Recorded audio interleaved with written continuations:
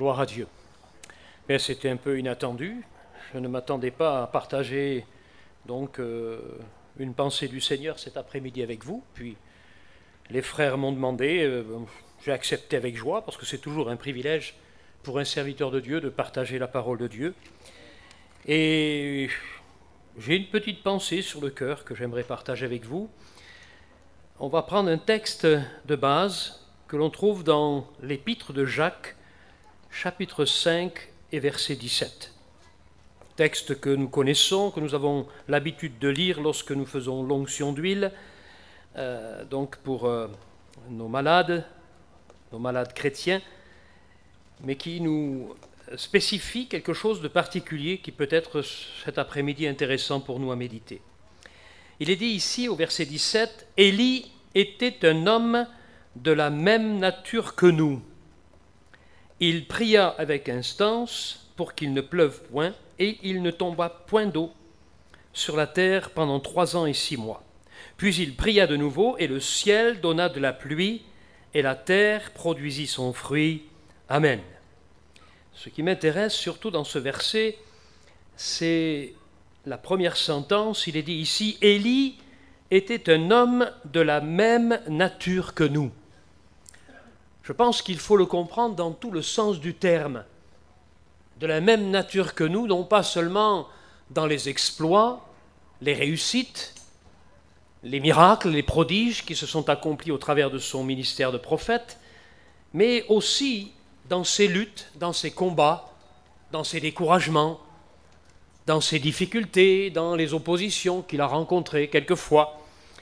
Il était un homme de la même nature que nous et il a certainement eu, nous le verrons avec la parole de Dieu, l'occasion, à cause de cette nature qui était semblable à la nôtre, eh bien, de réagir comme nous réagissons quelquefois dans la vie, et comme euh, beaucoup d'hommes de Dieu, de serviteurs de Dieu, et non pas seulement des serviteurs qui portent la parole, mais aussi ceux qui servent le Seigneur, soit par euh, leur exercice dans le diaconat en tant que diacre, ou qui servent le Seigneur tout simplement parce qu'ils s'engagent dans le service pour le Seigneur, parce qu'ils aiment le Seigneur.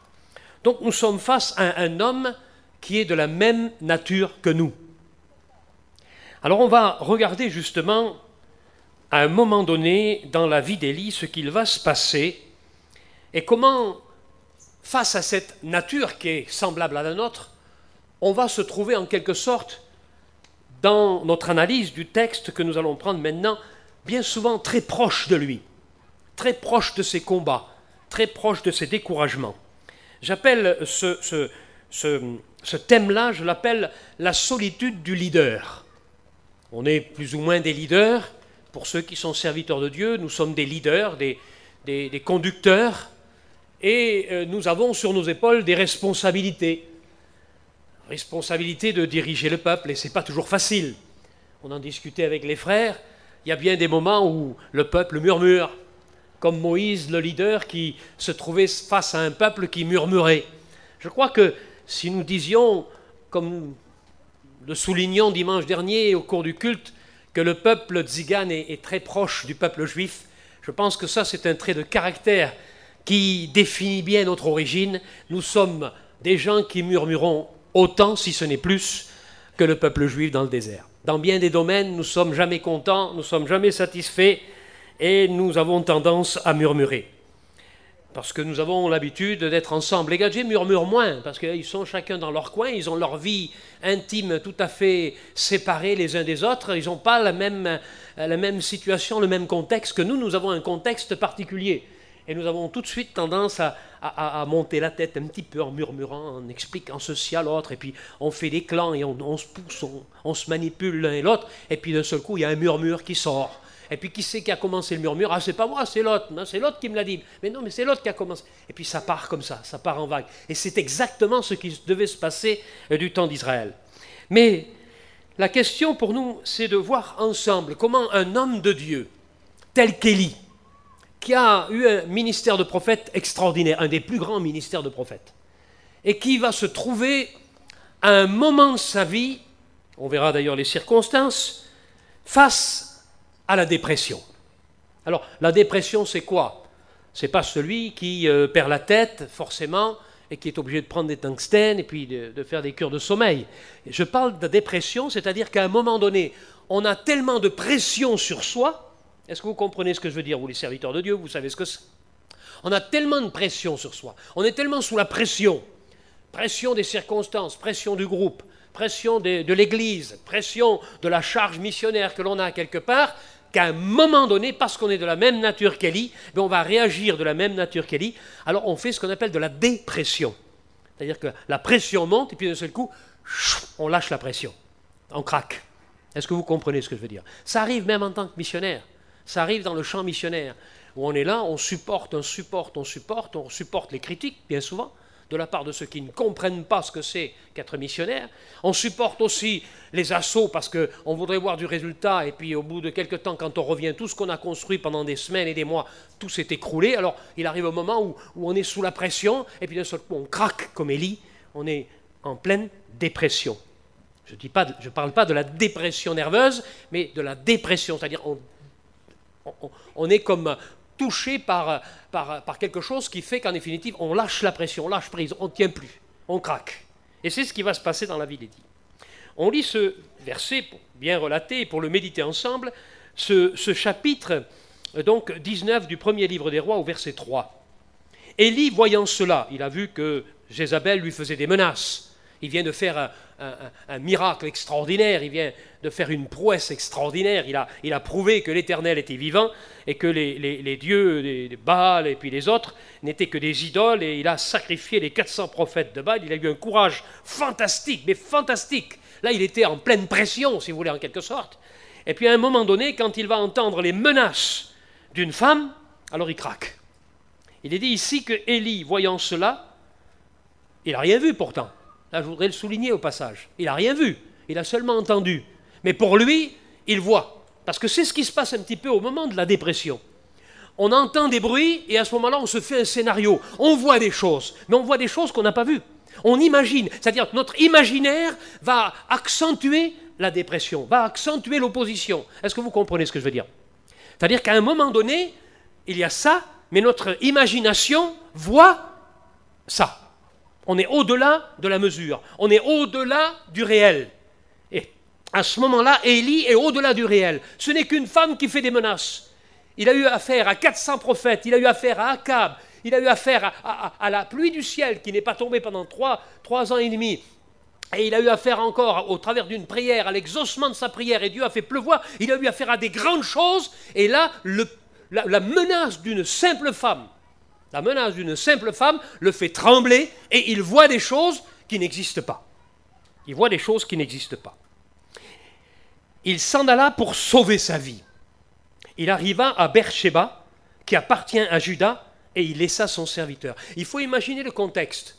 Il est au nord, parce qu'il est en terre de Samarie.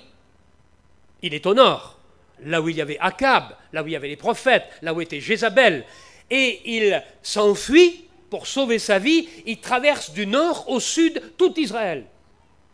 Il fait une marche très longue, quelque chose comme 150 à 180 km.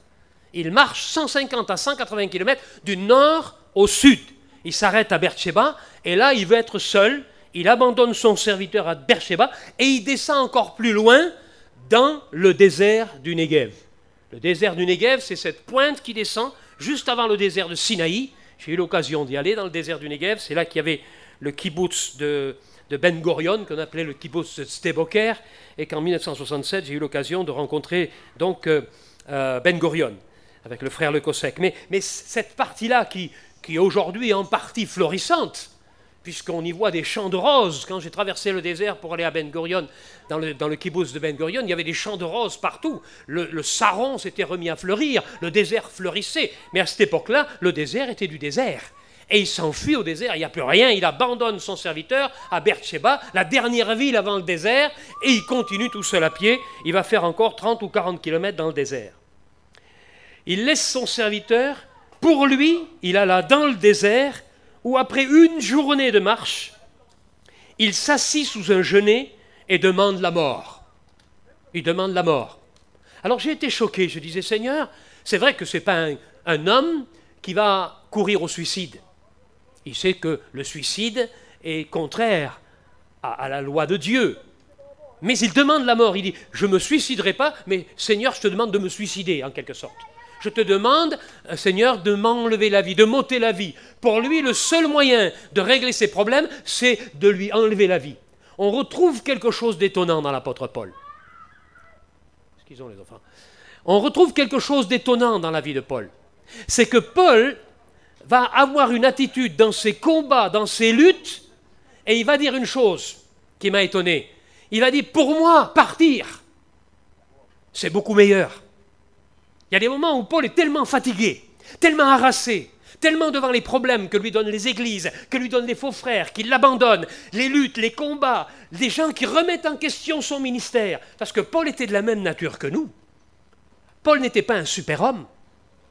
Quand on lit l'épître de Paul, on se rend bien compte que Paul était de la même nature que nous, même si éventuellement il avait un caractère, il avait une force de caractère, il avait une personnalité qui était fantastique, formidable à imiter. Mais malgré tout, il a eu ces moments de relâchement, ces moments de découragement. Quand il dit que tous m'ont abandonné, il le dit à Paul, il le dit à, Timothée, tous m'ont abandonné, je suis resté seul. Et même au moment où je suis passé devant le tribunal pour la première fois, il n'y avait personne pour prendre ma défense. Imaginez un peu la solitude du leader. Et je dis toujours, je dis toujours, plus on a de responsabilités sur les épaules, plus on est seul.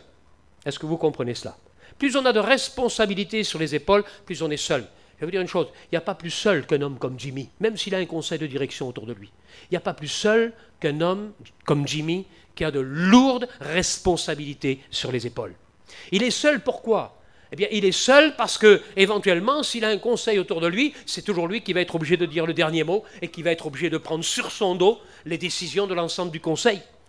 Est-ce que vous comprenez ce que je veux dire? Et quand il y a des décisions graves, pesantes, qui vont jouer même éventuellement sur sa propre paix, sur sa propre paix. Lorsqu'on est face à des responsabilités, on est tourmenté par rapport aux, décisions que l'on doit prendre. On est tracassé, c'est un poids beaucoup trop lourd. Il n'y a pas plus solitaire, il n'y a pas plus seul qu'un homme qui a des responsabilités.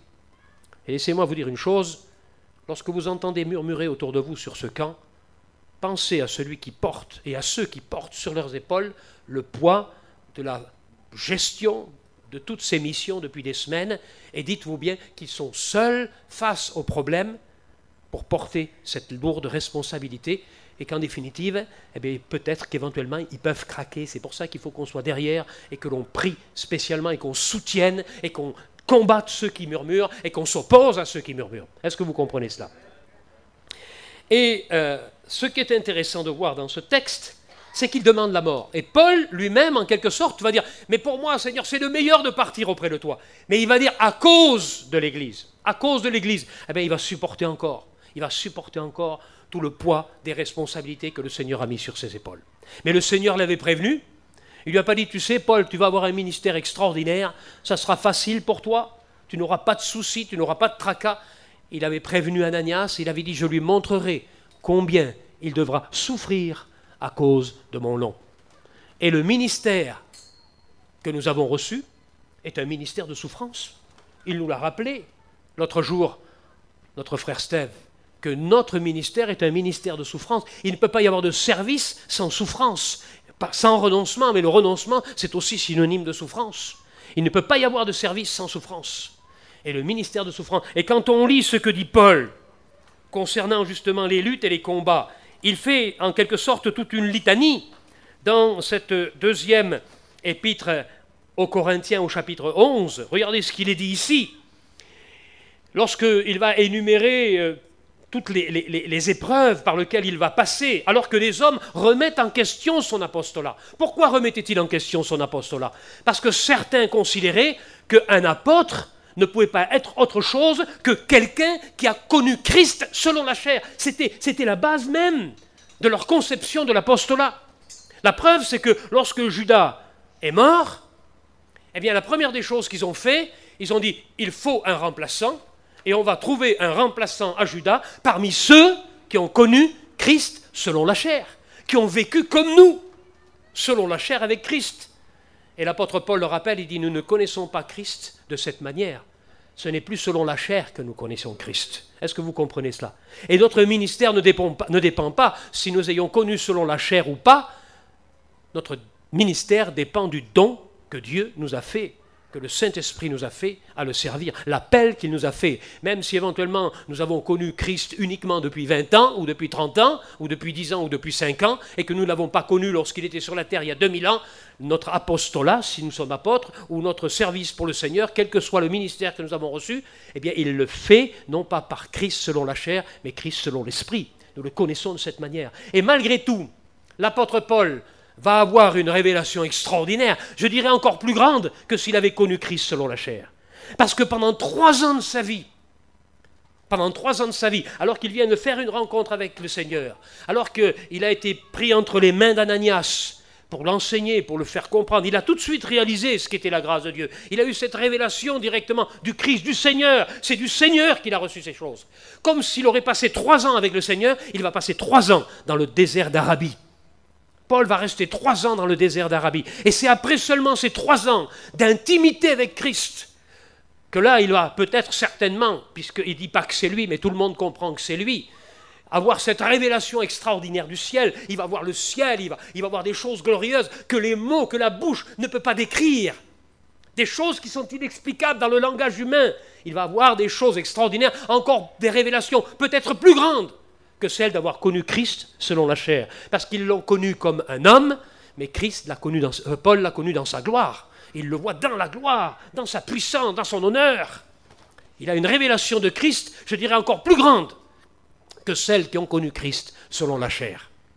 Je ne mets pas au dénigré, je n'abaisse pas le fait que ces hommes-là ont connu Christ selon la chair, mais on se rend compte au travers de ses écrits, au travers de cette connaissance de Christ, au travers de cette révélation de Christ dans ses épîtres, c'est le seul qui va décrire avec précision dans toutes ses épîtres autant de, de richesse, de grandeur, de connaissance de Christ que les autres n'ont pas été capables de faire. Lisez les épîtres de Pierre, vous verrez que c'est assez succinct. Alors que ce que dit Paul, c'est une grande révélation. Et l'apôtre Pierre le dira lui-même, il dit que Paul en parle, même si quelquefois quelques-uns euh, n'arrivent pas toujours à comprendre ce que dit Paul, tellement que, que c'est grand. Mais il dit Paul a eu une révélation extraordinaire. Voilà ce que l'apôtre, Pierre va dire sur Paul. Et malgré cela, voilà ce que dit Paul, dans ses combats, dans ses luttes, où il a été frappé, il a été battu de verge, il a été lapidé trois fois, il a fait naufrage, il est passé par l'abîme, il est fréquemment en voyage, en péril sur les fleuves, en péril de la part des brigands, en péril de la part de ceux de ma nation, de la part des païens, en péril dans les villes, dans les déserts, sur les mers, en péril de la part des faux frères. J'ai été dans le travail et dans la peine, exposé à de nombreuses veilles, à la faim, à la soif, à des jeûnes multipliés, au froid et à la nudité. Laissez-moi vous dire une chose je crois qu'il pourrait signer avec Jérémie le livre des lamentations. Il pourrait le signer avec. Quand on lit ça, on a l'impression de lire la lamentation de Jérémie. Un ministère de souffrance. Il y a des ministères, et sûrement que Paul s'est sûrement posé la question souvent, lorsqu'il avait cette écharpe dans la chair, il dit, mais Seigneur, pourquoi? Pourquoi moi et il le dira d'ailleurs. Pourquoi est-ce que Pierre, lui, il a bien le droit, comme les apôtres, d'avoir une femme avec lui, de fonder un foyer, d'être tranquille, le frère du Seigneur? Mais Il a une bonne petite place, il est, il, est, il est, il est évêque, il est, il est en quelque sorte le pasteur de l'église de Jérusalem. Pourquoi moi je ne serais pas comme ça, moi? Pourquoi est-ce que je ne serais pas tranquille? Pourquoi est-ce que chaque soir, quand je me couche, je sens les douleurs des coups que j'ai reçus, je sens les cicatrices qui me blessent encore le dos, je sens les pierres qui, qui me tombent sur la tête, j'en fais des cauchemars? Pourquoi moi, Seigneur? Pourquoi moi? Bien Dieu a choisi que Paul ait un ministère comme ça. Et puis Dieu a choisi que d'autres aient un ministère peut-être plus facile. Est-ce que vous comprenez cela? Il y a un choix de Dieu. Et Dieu a choisi que certains hommes vont passer par des luttes, des combats à cause de son nom.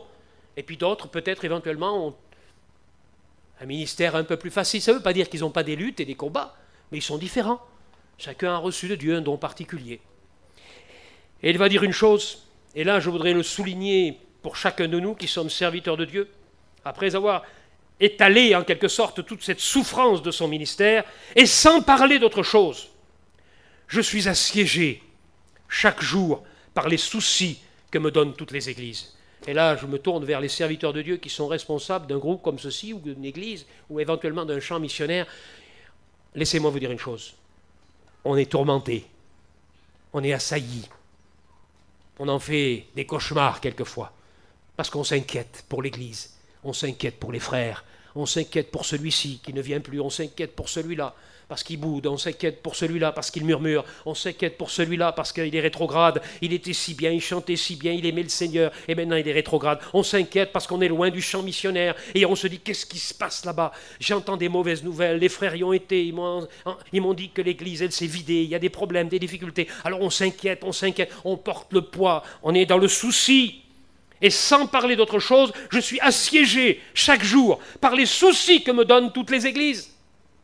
Parce que quand on a un ministère, et quand on aime le Seigneur, et quand on aime servir Dieu, laissez-moi vous dire une chose, on n'est pas en paix.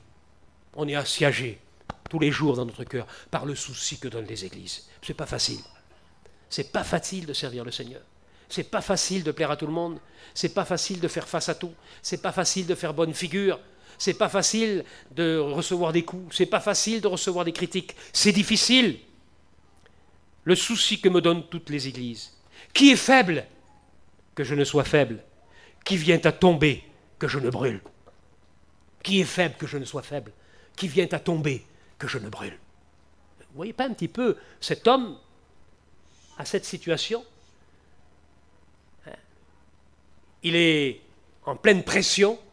Comment vous ne pouvez pas imaginer qu'à un moment donné, il décompresse, il lâche prise Et ce qui va succéder, justement, tous ces textes que je viens de vous citer, c'est le chapitre 12, où à un moment donné, le Seigneur va avoir un dialogue avec lui particulier, mais il va formuler une prière lui demandant au Seigneur de, de lui donner une porte de sortie en quelque sorte.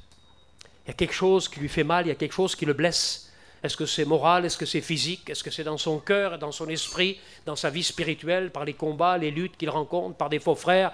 Peut-être est-ce que c'est des choses de la vie On ne sait pas, il ne donne pas de détails là-dessus. Et il priera, il gémira devant Dieu de lui enlever cette fameuse écharde. Il gémira devant Dieu d'enlever l'écharde. Et au bout de la troisième prière, le Seigneur lui dira, ma grâce te suffit, ma grâce te suffit. Les choses ne changeront pas tu souffriras autant. Tu auras toujours les mêmes soucis avec les églises. Tu subiras toujours les assauts des faux frères. Des coups, mais tu en prendras encore des coups. Des prisons, mais tu iras en prison à cause de mon nom. Des chaînes, elles te feront encore mal aux pieds, elles te feront encore mal aux mains, les chaînes. Et puis, Seigneur, les naufrages, mais oui, tu subiras encore des naufrages. Et puis, et puis ce souci que me donnent les églises, mais tu en auras encore davantage, parce que plus l'œuvre de Dieu grandit, plus tu auras de soucis sur les épaules.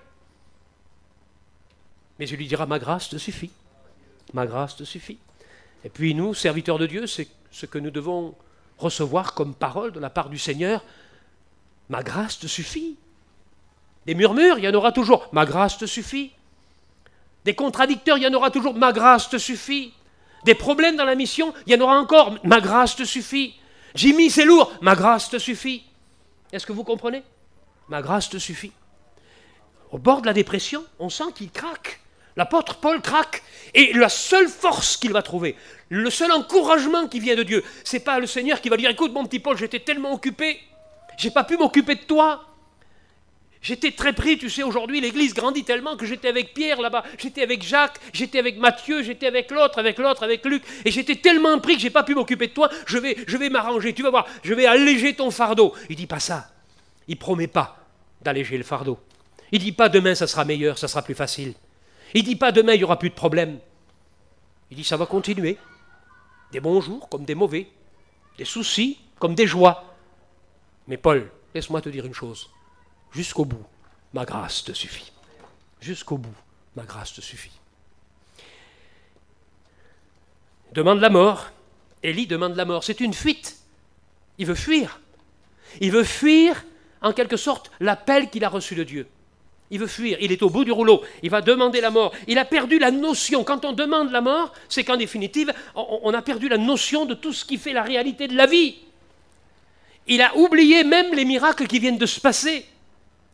Il se dit, mais, mais, mais c'est pas possible, une femme comme ça, mais je vais en faire une bouchée au nom de l'Éternel. J'ai fait une bouchée des 400 prophètes. J'ai pas eu peur d'Akab. J'ai eu peur de personne. C'est pas une femme qui va me faire trembler. Et pourtant, il y a des moments où, un rien, un rien, un détail dans notre vie, un coup de téléphone, une petite menace, quelque chose qui nous trouble, une difficulté, quelque chose qui ne va pas. Des fois, des choses insignifiantes vont nous frapper dans le cœur. Et là, on demande la mort. On dit Seigneur, c'est fini, moi j'arrête. Non, j'en peux plus, Seigneur. C'est fini, j'en peux plus, j'arrête, Seigneur. Je ne peux plus être missionnaire, je ne peux plus être un leader. Je vais faire comme les autres. Il y en a tellement qui sont là tranquilles. Il y en a tellement qui viennent dans les groupes, qui s'assoient et puis ils écoutent, et puis de temps en temps, si on leur demande de prêcher, ils prêchent, et puis ils s'en vont, c'est fini. Il y a tellement des, touristes, des, ministères touristiques, en quelque sorte, qui, qui ne veulent jamais prendre de responsabilité. Il y a tellement de chrétiens qui murmurent, qui jamais ne bougeront une chaise, qui jamais ne ramasseront un papier. Jamais. Il y en a tellement comme ça. Mais il ne faut pas que ça décourage les autres. Il ne faut pas que ça empêche de travailler les autres. Il faut le faire parce que le Seigneur nous a appelés à cela. Et même si éventuellement le fardeau est lourd, il faut continuer, il faut persévérer, il faut aller de l'avant. Parce que le Seigneur nous a appelés à porter ce fardeau. Élie demande la mort. Il se couche et il s'endort. Comme je disais dimanche, il n'y a que celui qui dort qui ne se rend pas compte qu'il dort. Alors on pense que quand on dort, on oublie tout. On dort, on oublie tout. C'est une façon d'oublier ses problèmes. Il y a quelquefois, quand les problèmes sont grands, quand même, malgré tout, on fait des cauchemars. Alors là, c'est grave. Mais là, on n'a pas l'impression qu'il ait fait des cauchemars. Il s'endort. Il est content. Et un ange vient. Un ange vient. Et un ange le touche. Et lui dit Lève-toi et mange. Et il regarda, il y avait à son chevet un gâteau cuit sur des pierres chauffées et une cruche d'eau. Il assiste à un miracle en plein désert.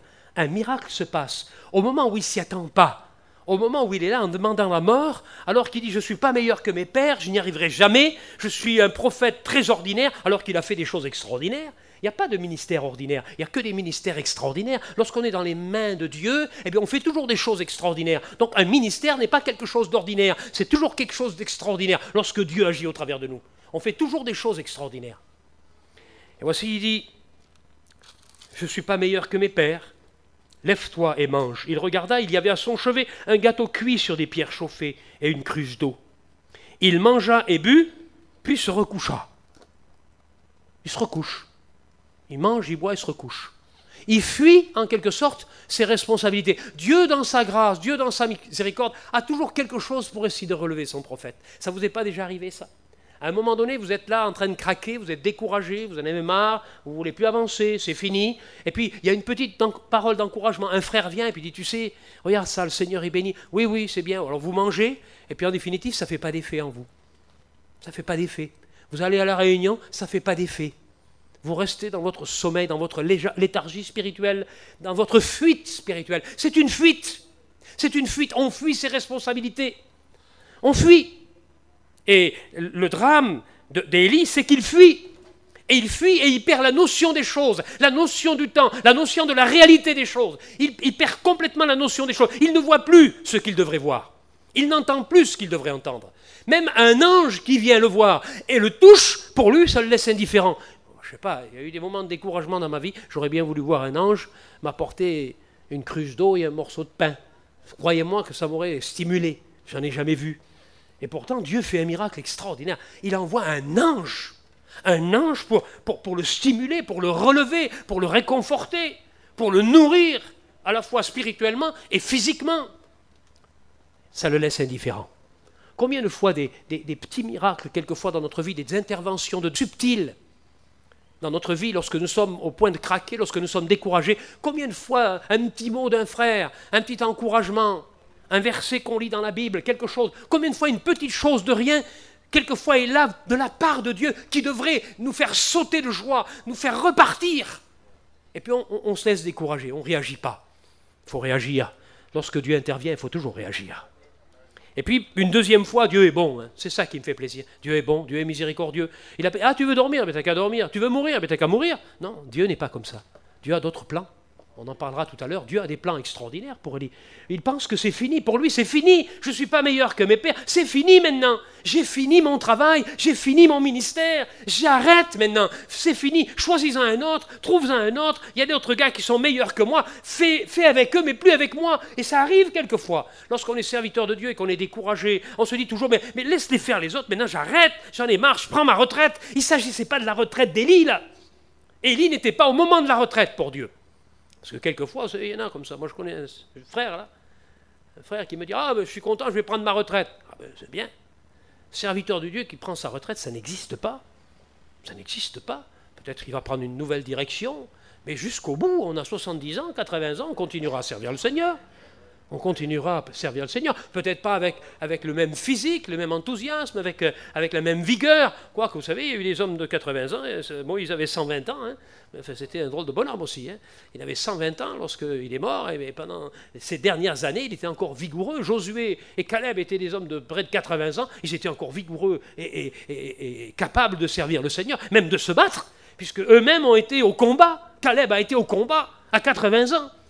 Donc, il n'y a pas d'âge pour servir le Seigneur. Il n'y a pas de retraite. Ce n'est pas parce qu'on atteint 60 ans, 65 ans, 70 ans qu'on doit prendre la retraite. Non, Élie, tu te trompes. Ce n'est pas le moment de la retraite. Ce n'est pas le moment. J'ai besoin de toi. J'ai besoin de ton ministère. Et alors, pour la deuxième fois, dans sa miséricorde, l'ange va le toucher. Une seconde fois, il va le toucher. Lève-toi, mange, car le chemin est trop long pour toi. À ce moment-là, il se lève il mange et boit, et avec la force que lui donne cette nourriture, il marche pendant 40 jours et 40 nuits jusqu'à la montagne de Dieu Horeb. C'est-à-dire, il fait un retour en arrière. Il fait, en quelque sorte, une journée de marche pour rattraper Bercheba, et de Bercheba, il refait encore tout le temps qu'il faut pour rattraper Horeb. C'est-à-dire qu'il va marcher pendant 40 jours et 40 nuits. Moi, ce qui est formidable, c'est que Dieu le laisse marcher.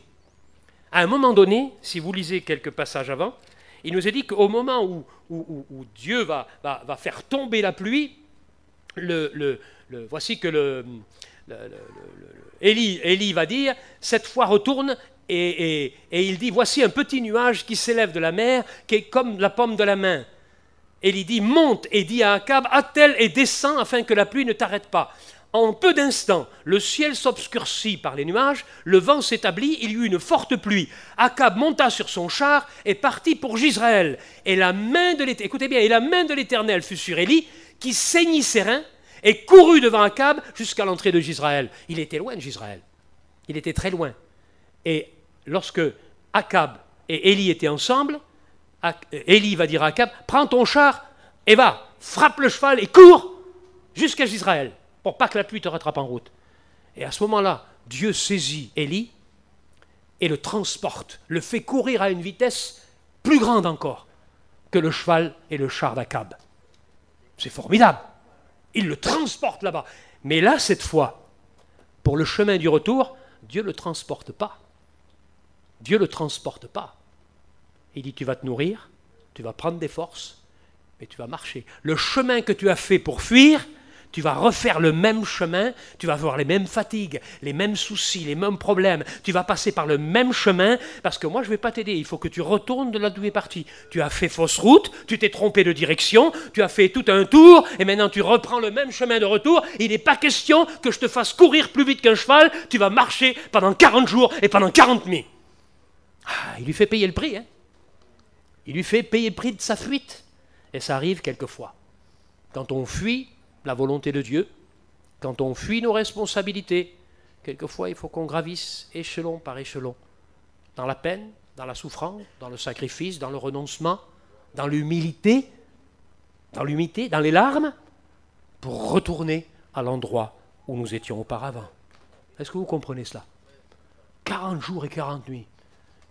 Il aurait pu dire, mais Seigneur, je suis fatigué, t'as vu? Non, t'as dormi, t'as dormi pendant des jours, là, t'es pas fatigué, ne dis pas que t'es fatigué, t'as dormi, t'es pleine force. Tu peux pas me transporter? Non, je te transporterai pas. Tu vas reprendre le même chemin. Tu vas passer par les mêmes villes, par les mêmes villages, par les mêmes sentiers. Tu vas subir les mêmes rocailles, la même chaleur du jour, le même froid de la nuit, mais tu vas retourner là où tu étais, parce que c'est là que je te veux. C'est pas dans le désert, c'est là que je te veux. Ton ministère est là-bas. Il n'est pas dans le désert. Il n'est pas dans la solitude. Il n'est pas dans la fuite. C'est là-bas que je t'ai besoin. Est-ce que vous comprenez cela? Et puis, lorsque il arrive à Horeb, il entre dans une caverne et il y passe la nuit. Et voici la parole de l'Éternel lui fut adressée en ces mots. Et c'est ça qui me plaît. Il y a une parole de Dieu qui est importante et qui va en quelque sorte être la clé de ce que nous partageons cet après-midi Dieu va poser la question, il va dire à Élie, que fais-tu ici? Que fais-tu ici? Est-ce que ça vous est pas déjà arrivé de vous poser la question ou de sentir que dans votre cœur, Dieu vous posait la question, que fais-tu ici? Où est-ce que tu en es? Où est-ce que tu es? Tu as été là, tu as fait ça, tu as fait ça, tu as fait ça, tu as fait ça, et puis d'un seul coup, Dieu nous arrête, paf, il nous met là. Que fais-tu ici? Où est-ce que tu en es? Qu'est-ce que tu fais ici? À quel point tu es Dans quelle situation tu es Où en es-tu dans ta vie? Où en es-tu dans ton ministère? Regarde avec recul ce qui s'est passé. Tu as fui au désert, tu as voulu laisser tes responsabilités, tu as eu peur, tu en avais marre, tu étais fatigué. Je le comprends, je le comprends. Mais je t'ai donné ce qu'il fallait. Je t'ai nourri, je t'ai donné du pain, de l'eau, j'ai fait des miracles pour toi. La nourriture qu'il nous donne, c'est toujours miraculeux, c'est toujours une nourriture spirituelle, quelque chose qui vient du ciel, quelque chose qui n'est pas terrestre, quelque chose qui est donné par, par, par la grâce de Dieu, la grâce qui est suffisante. Que fais-tu ici? Et là, il se plaint. Ah, parce que la plupart du temps, c'est comme ça. Quand on passe par des moments de dépression, on cherche la pitié. Est-ce que vous comprenez cela? On cherche la pitié? On aimerait bien que des frères viennent me voir et puis dire Ah, tu sais, frère, je compatis. Ah, je comprends. Ah, Seigneur, que ça me fait du bien. Ah là là, eh oui, je suis un grand homme. Moi. heureusement que vous êtes là pour me plaindre. Oh, Seigneur. On aime bien se faire plaindre. On aime bien que l'on manifeste à notre égard un peu de pitié. Ça t'est pas arrivé? Ne voudrais pas que quelqu'un ait un peu pitié de toi quand tu es là, avec tous les problèmes avec le préfet Tu ne voudrais pas que quelqu'un ait un peu pitié de toi c'est vrai, ça ferait tellement de bien que quelqu'un ait un peu pitié de nous. Et surtout que Dieu ait pitié de nous. Que Dieu ait pitié de nous. Il se plaint, il pleure. Il dit, j'ai déployé mon zèle pour l'Éternel, le Dieu des armées, car les enfants d'Israël ont abandonné ton alliance, ils ont renversé tes autels, ils ont tué par l'épée les prophètes. Et je suis resté moi seul. C'est faux. Tu mens. Mais comment Si je suis tout seul. C'est faux. Tu mens. Parce qu'il y a un homme qui s'appelait Abdias, qui était un homme qui craignait l'Éternel. Et lorsqu'Akab a massacré tous les prophètes de l'Éternel, il en a pris cent. Cent. Cent hommes de Dieu. Cent prophètes de l'Éternel. Et cinquante par cinquante, il les a cachés dans une caverne. Il les a mis de côté. Et il les a nourris de pain et d'eau pendant tout ce temps. Il a sauvé des prophètes. Tu n'es pas seul. Tu n'es pas seul, Élie. Des fois, on se croit tout seul. Je suis tout seul. Je suis tout seul à porter le fardeau. Il n'y a que moi, même mes collègues dans le travail, en définitive, ils ne m'aident pas comme ils devraient m'aider. Je suis tout seul. Je suis tout seul à ramasser les papiers. C'est pas vrai, derrière les voitures, j'en ai vu un autre qui avait une petite pince et qui ramassait les papiers comme toi. Je suis tout seul. Il n'y a que moi. Alors il faut avoir pitié de moi, Seigneur, il n'y a que moi. Il n'y a que moi le meilleur, c'est moi le meilleur. Mais vraiment, je suis fatigué, Seigneur. Alors aie pitié de moi, Seigneur. Et compassion. Je suis tout seul. J'ai déployé mon zèle pour l'Éternel. J'étais un grand serviteur de Dieu, tu le sais, Seigneur. Mon zèle, moi, il n'y avait pas plus zélé que moi. Il n'y avait pas plus zélé que moi. Il, se montre devant Dieu. Il montre ses, mérites, ses valeurs. Et alors, il va, il va aussitôt, en quelque sorte, projeter sur le peuple une image négative. C'est leur faute, Seigneur. Vous savez que c'est toujours comme ça, lorsqu'on a des problèmes, c'est toujours la faute des autres. Lorsqu'on passe par des moments difficiles, lorsqu'on est découragé dans une église, lorsqu'on a des luttes, des combats en tant que leader, en tant que responsable, c'est toujours la faute des autres, c'est la faute de l'église, c'est la faute de mes collègues, c'est eux, Seigneur. Moi, je suis bon, moi, je suis bien, moi, je suis juste, moi, je suis droit, moi, je fais ce que je peux. C'est eux, Seigneur, c'est eux qui me mettent des bâtons dans les roues, c'est eux, Seigneur. Il dit, c'est ton peuple. Ils ont abandonné ton alliance, ils ont renversé tes autels. C'est faux, c'est encore faux. Parce qu'il y a 7000, 7000 hommes en Israël. Et lui, il les a oubliés. Dans sa peur, dans sa crainte, dans sa dépression, il a perdu la vision. Et c'est ce qui se passe. On perd la vision. Il a perdu la vision. Il a perdu la vision des 100 prophètes qui étaient cachés dans la caverne. il le savait pourtant. Il le savait puisque Abdias est venu vers lui et il lui a dit. Il a perdu la notion de savoir qu'il y avait 7000 hommes qui n'ont pas fléchi les genoux devant Baal. Il n'était pas tout seul. Il n'était pas le seul chrétien, l'unique sur toute la terre. Il n'était pas le seul Israélite juste devant Dieu. Il y en avait 7000 qui étaient restés fidèles à Seigneur. Il avait perdu la vision. Il a ce qu'on appelle le complexe de la solitude. Il se croit tout seul. Complexe de la solitude et le complexe de persécution. Il a peur que quelqu'un va le tuer par là, un, sbire de, de Jézabel va venir pour le trucider. Il a peur. Je suis resté moi seul et il cherche à m'ôter la vie. L'Éternel dit, sors et tiens-toi dans la montagne devant l'Éternel. Sors. Il faut savoir sortir quelquefois de ce marasme. Il faut savoir sortir de cette situation dépressive. Il faut savoir sortir de ce découragement. Il faut savoir sortir de cette mauvaise analyse des choses. Il faut savoir sortir de cette vision négative des choses. Il faut sortir. Le Seigneur nous invite à sortir comme il a invité le prophète à sortir.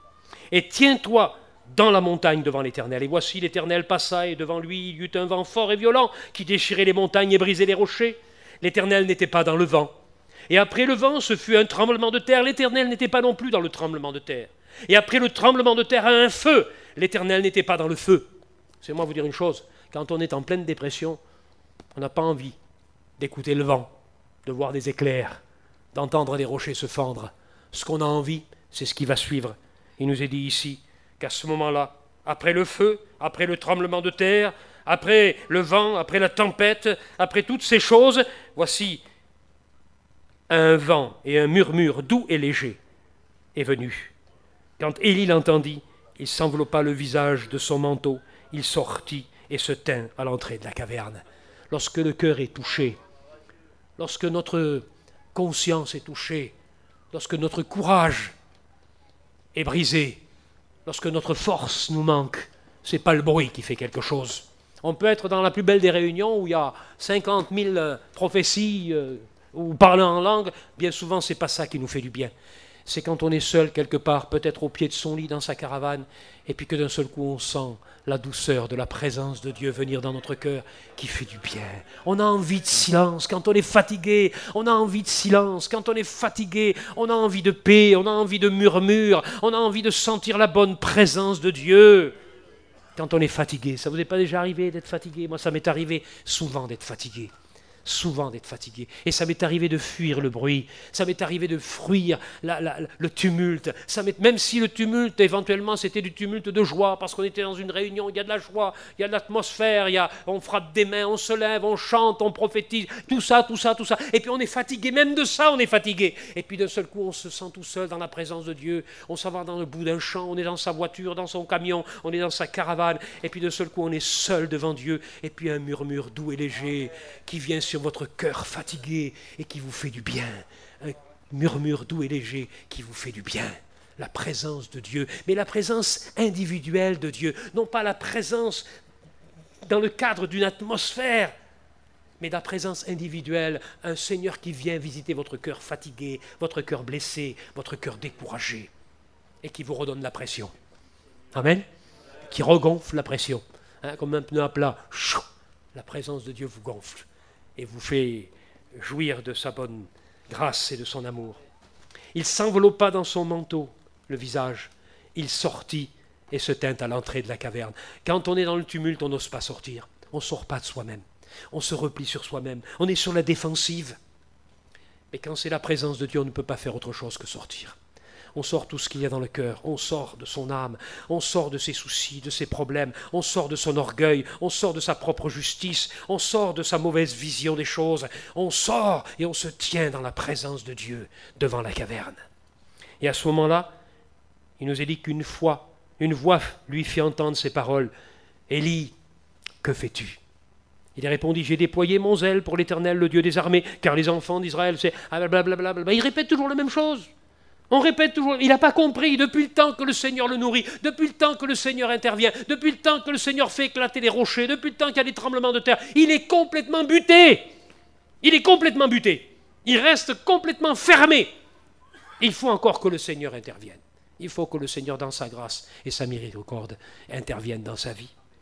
Voici qui dit, ils ont tué par l'épée les prophètes, je suis resté moi seul, et ils cherchent à m'ôter la vie. Imagine-toi un peu, Seigneur, il n'y a plus personne. Si je meurs, il n'y a plus personne derrière moi. L'Éternel lui dit, va, reprends ton chemin par le désert jusqu'à Damas, et quand tu seras arrivé, tu oindras Azaël pour moi.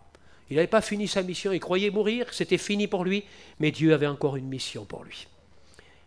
Il a donné trois points importants après cette expérience de dépression après le moment où il a craqué, Dieu lui dit, j'ai encore du job pour toi, j'ai encore du boulot pour toi. Et toi, j'ai besoin de toi. Tu vas te fortifier, tu vas repartir, et tu vas faire des choses encore plus grandes. Tu vas aller oindre un roi païen comme roi sur la Syrie.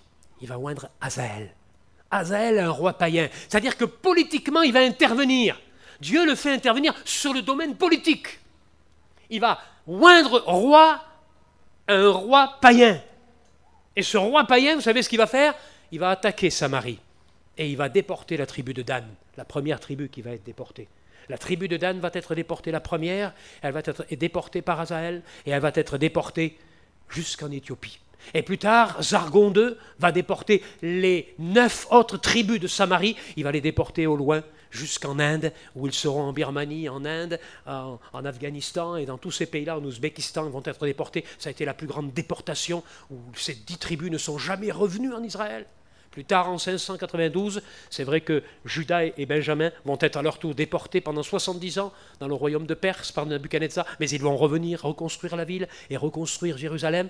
Mais à cette époque-là déjà, Azaël est oint par Dieu pour une mission de sanction à l'égard du peuple d'Israël qui s'est détourné de l'Éternel. Est-ce que vous vous imaginez? Azaël oint par Élie le prophète.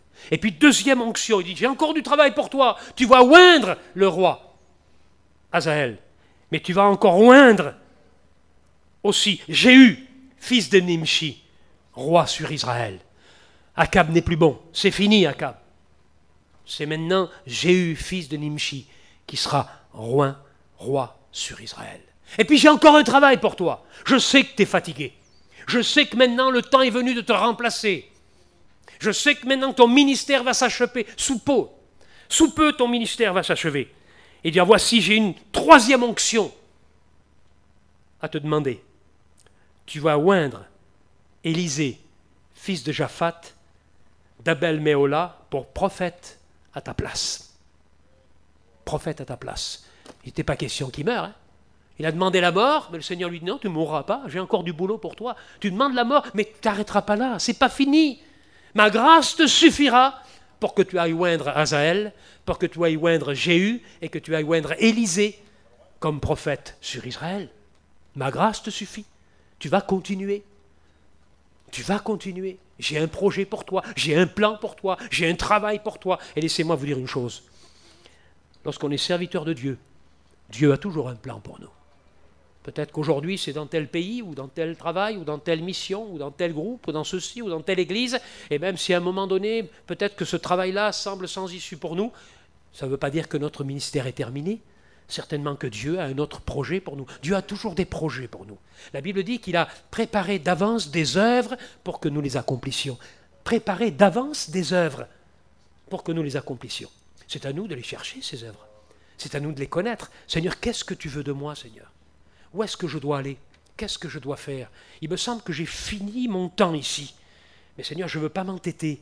Je crois que j'ai fini. Le problème d'Akab, le problème de Jézabel, Seigneur, c'est vrai, c'est terminé pour moi. Mais Seigneur, tu me demandes une autre mission. Tu m'appelles à une autre mission. Tu vas aller m'envoyer maintenant à Damas, en Assyrie là-bas? Là où il y a le peuple infidèle, le peuple impie, des païens, des idolâtres, et tu me demandes de oindre un roi païen. Mais Seigneur, ben, si c'est ta volonté, j'y vais quand même. Et il a été, il n'a pas contesté. L'homme de Dieu qui prend conscience ne conteste pas le plan de Dieu, ne conteste pas la direction de Dieu, ne conteste pas les projets de Dieu. Est-ce que vous comprenez cela? Dieu a un plan. Je connaissais un pasteur qui avait une église de, de 7 ou 8 000 membres. C'est grand, hein, 7 ou 8 000 membres, une grande église aux États-Unis. Il avait fondé cette église, il avait eu un ministère extraordinaire. Et puis le Seigneur lui a parlé à son cœur, il lui a dit, tu dois laisser ton église. Alors il a réuni les anciens après avoir prié, jeûné, discuté avec sa femme. Il avait un bon salaire. Vous savez, les pasteurs américains, ils n'ont pas besoin d'aller chiner le matin. Ils ont des bons salaires. Hein. Il y en a qui touchent des salaires de rois, de ministres, ou plutôt même de bons directeurs euh, commerciaux d'une entreprise. Ils ont tout, tout, tout, tout. Deux, trois voitures, la maison, l'appartement, la piscine, tout ce que vous voulez. Si vous voulez être pasteur en Amérique, euh, je vous souhaite. Essayez. Mais ce pasteur-là, avait reçu un appel précis par le Seigneur. Le Seigneur lui dit abandonne et va prendre la petite église là-bas. Il a laissé son église. Tout le monde lui dit mais t'es fou même ses collègues, mais ça va pas. Regarde, tu as bientôt 60 ans, tu as, 58 ans, et tu veux abandonner une église comme ça. Mais moi, je serais toi, je finirais mes jours tranquilles, tu t'imagines pas? Non, le Seigneur m'appelle à autre chose. Il a laissé son église de 7000 membres. Il a été prendre une église qui était en, en chute libre. Elle avait eu de gros problèmes, de gros soucis, de gros scandales. Il restait peut-être 40 ou 50 chrétiens dans cette église. Et il a été là-bas. Pas de paye, parce que l'église n'était pas capable de le supporter. La voiture, c'était une vieille guimbarde. L'appartement est tombé en ruine. Il a été là-bas et s'est mis au travail. Cinq ans après, il y avait une église de 3000 membres. Parce que Dieu l'avait appelé là-bas. Et Dieu avait fait que tous ceux qui étaient partis, tous ceux qui étaient des rétrogrades, Dieu s'était servi de son ministère pour repartir et pour redémarrer l'œuvre de Dieu dans cette église. Il faut savoir accepter quelquefois, aux yeux des hommes, de descendre de l'échelle, de laisser la place à quelqu'un d'autre, parce qu'on est tous remplaçables, tous. Jimmy est remplaçable, Steve est remplaçable, frères du conseil sont remplaçables, je suis remplaçable, on est tous remplaçables un jour. Ce qui compte, c'est d'être, pendant le temps que le Seigneur nous a fixé, notre programme, notre projet, notre travail, d'être à la place que Dieu nous veut. Où es-tu? Que fais-tu? Que fais-tu? Est-ce que tu es vraiment à ta place? Que fais-tu ici? Est-ce que tu es à ta place? Est-ce que tu joues ton rôle Ou est-ce que tu es un figurant de passage Est-ce que tu joues ton rôle Est-ce que tu es engagé dans l'œuvre de Dieu Est-ce que tu es celui qui est consacré à la tâche que je t'ai confiée, qu'elle soit grande ou petite, que tu aies reçu un talent ou cinq talents, ce que Dieu demande, c'est que nous soyons fidèles. Ce que nous soyons fidèles. Il ne va, pas, va pas nous gratifier de la quantité du travail, il nous gratifie de la fidélité dans le travail. Il n'y a pas de grand et petit ministère. Il n'y a que seulement des hommes qui sont jugés fidèles par le Seigneur. Et si le grand n'est pas fidèle, il vaut moins que le petit. Parce que si le petit a été fidèle, il vaut plus que le grand. Est-ce que vous comprenez cela? Et ça, c'est important. Et ce qui est extraordinaire, et c'est là-dessus que je conclurai, le plan de Dieu est tellement grand, tellement grand. Et puis vous savez, euh, dans le caractère de Dieu, on peut parler de l'humour de Dieu. Je ne sais pas si vous savez ce que c'est que l'humour de Dieu, mais Dieu a de l'humour. Hein, quand euh, il décide qu'une vieille femme de 80 ans, euh, elle attend un bébé, on peut dire que Dieu a de l'humour, il aurait pu faire ça avant. Et puis il y a d'autres circonstances au travers de la parole de Dieu où on se rend compte que Dieu se rit du méchant, nous dit la Bible. Dieu rit. Vous n'avez jamais entendu rire Dieu? Et pourtant, Dieu rit. Moi, je ne l'ai pas entendu, mais la Bible dit que Dieu rit. Dieu se rit du méchant. Et l'humour de Dieu existe.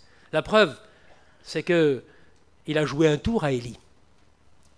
Il demandait la mort. Laisse-moi mourir. Fais-moi mourir, Seigneur. Puis Dieu lui a fait un clin d'œil. Il lui a dit non, tu ne mourras pas. Et tu ne connaîtras même pas la mort.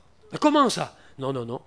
Tu connaîtras même pas la mort. Tu seras un des seuls hommes qui, en définitive, toi qui as demandé la mort, tu ne verras même pas la mort. À un moment donné, alors qu'il est avec Élisée, son, son étudiant, celui qui a été oint par Élie.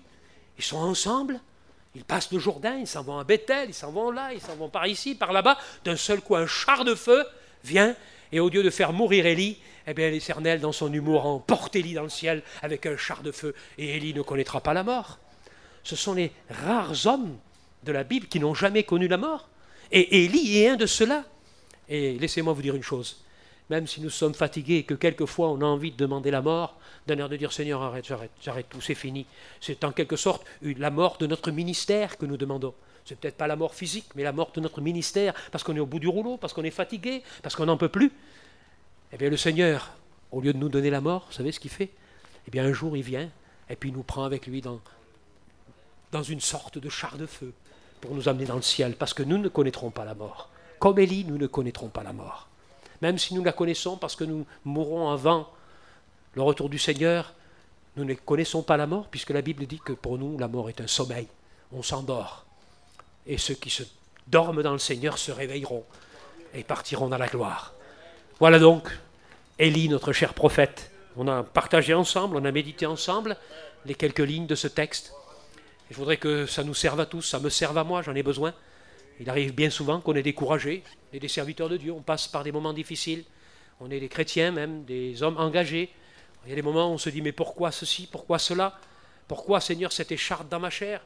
Pourquoi est-ce que je dois supporter? N'oubliez jamais ce texte des Corinthiens chapitre 12. Ma grâce te suffit. Et je pourrais dire Élie, comme je pourrais dire euh, un tel, missionnaire, prédicateur, membre du conseil, Jimmy, président, ou je pourrais dire euh, frère qui est chargé de responsabilité à cause des soucis que te donnent toutes les caravanes que tu as sur le dos, eh bien, je pourrais te dire, confie-toi dans sa grâce. Sa grâce est largement suffisante pour nous aider à continuer et à remonter jusqu'à Horeb et à nous tenir dans la présence de Dieu. Et puis le meilleur des moyens pour retrouver la grâce, la grâce qui est suffisante pour nous, c'est pas les éclairs, c'est pas les tremblements de terre, c'est pas le bruit, le tumulte, l'agitation, mais c'est le murmure doux et léger de la bonne présence de Dieu et de l'onction de Dieu dans notre cœur. Que Dieu nous bénisse. Merci Seigneur. Merci Seigneur pour, pour ta bonté. Merci pour ta grâce. Merci pour cette simple méditation qui nous fait du bien, Seigneur. Nous avons besoin d'écouter ta parole, de voir ta parole, de l'entendre, de la méditer ensemble. Nous avons besoin parce que nos cœurs quelquefois sont fatigués, nos cœurs quelquefois sont découragés par l'ennemi, par, par les assauts, les difficultés de la vie, par les fardeaux, les soucis que nous donnent les églises, les groupes, les murmures des uns et des autres, même quelquefois des prédicateurs. Seigneur, pardonne-nous. Seigneur, pardonne, Seigneur, notre découragement. Seigneur, viens dans notre cœur. Apporte-nous ce murmure doux et léger de ta présence. Fortifie-nous et fais-nous connaître ton plan, Seigneur, ton avenir, Seigneur, l'avenir que tu as pour moi, l'avenir que tu as pour l'œuvre de Dieu au travers de ma vie. Seigneur, oui, je veux te servir jusqu'au bout, je veux te servir jusqu'au jour où dans un char de feu,